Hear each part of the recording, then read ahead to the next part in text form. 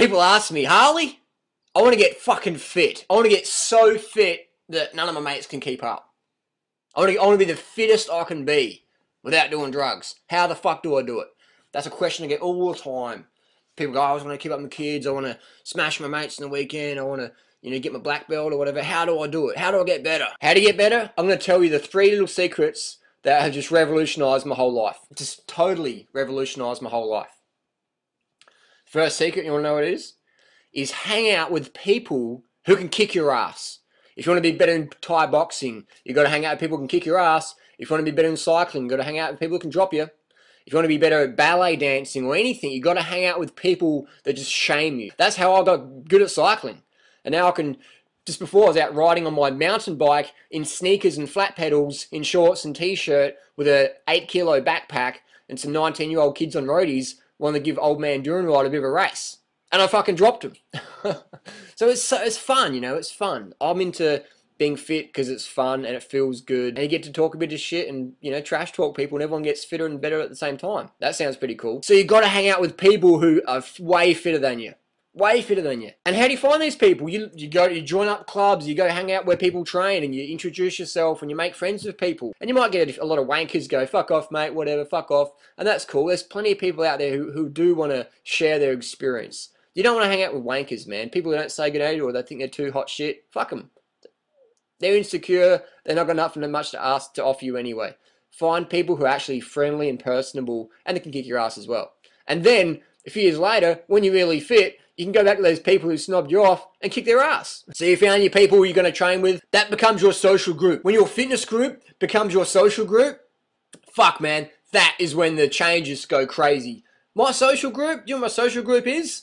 It's nutrition and sport. That's my social group. I don't hang out with stoners anymore. Some, in fact, some of my stoner friends have come over into fitness and sport, and now we hang out, and it's cool. So I don't hang out with downers no more at all. And some of my sp sport crew, they go out and get pissed and shit. I don't hang out with them then. I hang out with them on the good times, the sport times, man. At six o'clock in the morning, smashing up the local hills, or five o'clock in the afternoon, doing some kickboxing or or whatever, or just riding home from work and meeting new people. So when your social group becomes your fitness group, that man, that is fucking key. You know what I mean? Because so many people go, oh, I don't have any friends, all my friends are fucking losers. Exactly. Fuck them off. Get rid of them. The best thing you can do for fucking losers is not to be a fucking loser. So hang out with people who have high standards, who have high expectations. Why? Because we raise ourselves the expectations of other people. That sounds interesting. We raise ourselves the expectations of other people. The expectations people have for us, we raise those. That's like in the Tour de France. People can't ride that fast when by themselves. They can't put out that wattage up when by themselves. Or in basketball, you can't perform that well when you're playing by yourself in the court. When you've got people like expecting you to perform, that's when you raise above. That's why if you want to set a personal best, you've got to have a crowd around you supporting you or trash talking you or whatever. You've got to have people pushing you, pushing you always. That's why when I do my intervals, I don't go out by myself. That's boring. That's exercise. I like to have fun when I train. I don't want to exercise. I want to have fun. I want to play anything but exercise. I'm too I'm too busy to exercise. I want to play, man. When all your work is play, you'll never work another day. So how often you train with this new group of friends? Train with them. Not every day, man, because if you've had a big break or you're out of shape, you don't want to fry yourself. Start with once a fortnight, once a month, and build it up over time, and eventually a few times a week. Definitely. And you ask them, learn from them. And if they give you advice, which is normally going to be, hey, dude, just back off a bit, like you're training a bit too much, you're going a bit too crazy, listen to it. Listen to it because you don't want to overtrain yourself and burn yourself out and go, oh, I'm not cut out for this. I see that in cycling so often. I've been racing since 1997 in Adelaide, Australia, and I'm always back here every year. Always new faces. Like, I go to a race now and I hardly recognise anybody. Out of, out of 200 riders, I recognise maybe 10 people. 10 people. Look at the percentages that. That's crazy. So you know, we've got like 5%, 95% dropout rate in cycling. It's, it's insane. You always want to train smarter versus train harder and make it part of your lifestyle and have realistic goals. So what's the second tip? So what's the second tip? The second tip is to wear shit out, man. Wear stuff out. What do I mean by that? I mean, this is what happens to my socks. You got a, you know, you got a sock puppet here. Wear stuff out, man. These are my cycling gloves. Wear shit out. You don't need to spend a lot of money, man. You just need to train consistently. That's what we're doing. These cycling gloves, man. 50,000 kilometers and still going. I've stitched them up even. Look at that. Can't even afford new cycling gloves. I'm so poor, I can't even pay attention. We're training consistently by wearing things out. So just, I wear out bike tires, I wear out shoes, just wear stuff out. not by training excessively, but by training consistently. It's going to take you five to eight to ten years to get on top of the game. I don't know anyone at pro level sport who hasn't been doing it for at least eight years. And people who maybe took them five years, they've had like a background in something else. Like maybe a cyclist can go from elite runner to professional cyclist in five years because they've got that running base. Or if someone's a, a wrestler or a sumo wrestler, they can become a bodybuilder because they've got that base. But no one's going from couch potato to elite level athlete with no no background in like less than a year. That's, just bullshit. Those people liars. It's a scam. It's a money fucking scam. Whatever. Five to eight to ten years. So you want to start getting out there today. You want to start doing that thirty minute walk today. You want to start doing that thirty second jog today because it's going to take you five, eight, ten years for you really to be smashing it. Just gonna be honest with you there. And anyone that says otherwise, they're just talking shit, man. Because you look at Michael Phelps or Ian Thorpe or Lance Armstrong. So anyone that says it takes less than five, eight, ten years is talking shit. Look at Lance Armstrong. How long did it take him to win his first Tour de France? 15, 16 years. Cadel Evans took him like 21 years.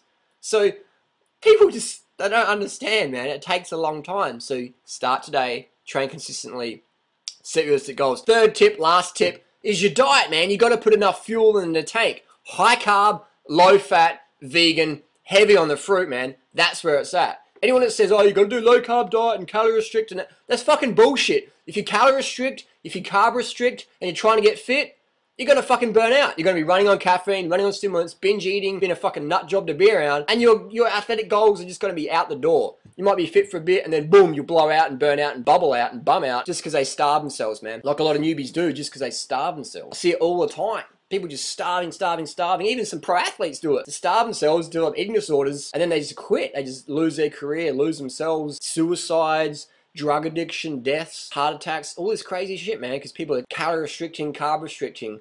And man, I'm telling you what, if you want lifelong results, develop the lifestyle where it's easy to maintain a healthy lifestyle by healthy eating, easy to maintain your, your activities and your, your social life and your, your diet guidelines and things like that. Make it easy, man. Make it realistic. So many people are trying to have this uh, putarian mindset of like, well, if that's good, then I want to go to the next level than that. And then they just blow up and go, oh, was really disciplined and dedicated. It's like discipline and dedication don't mean shit if you're heading the wrong direction. You can be going, I'm going to go to fucking Brazil, and you're heading to Antarctica, and you're dedicated and disciplined, and your boat hits Antarctica, and you're fucked. You got to have dedication and discipline on the right on the right path. The classic saying is direction is more important than speed. Direction is more important than speed. So many people focus on the speed. I want to get here. I want to get there. I want to do it now, now, now, now, now. And they're going in the wrong direction. Boom! King hit, knocked out, TKO, down for the count.